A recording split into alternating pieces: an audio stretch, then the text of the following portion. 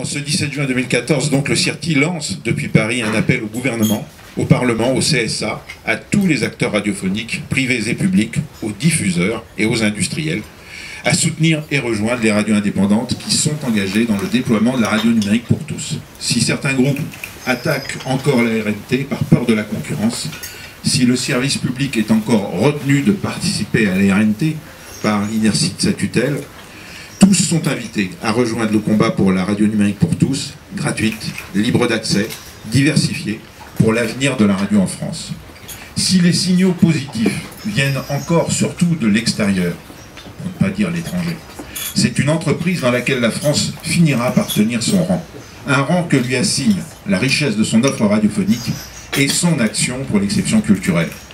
À chacun d'envoyer un signal équivalent au nôtre et le sort de la nouvelle bataille pour la liberté radiophonique en sera changé. Le CSA doit établir un calendrier de déploiement massif et rapide.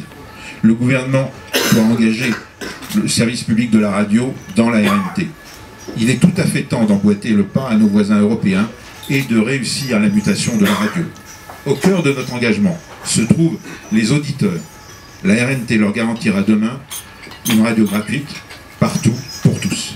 Vive la radio numérique pour tous à Paris, Marseille, Nice et bientôt dans plein d'autres villes, Angers, Avignon, Bordeaux, Brest, Grenoble, Le Havre, Lille, Lens, Lyon, Metz, Mulhouse, Nancy, Nantes, Rennes, Rouen, Saint-Étienne, Strasbourg, Toulon, Toulouse, Valenciennes. Vous reconnaissez peut-être la liste des villes qui nous étaient promises à un appel à candidature en 2012, mais aussi dans toute la France, car nous ne nous en tiendrons pas à ces villes.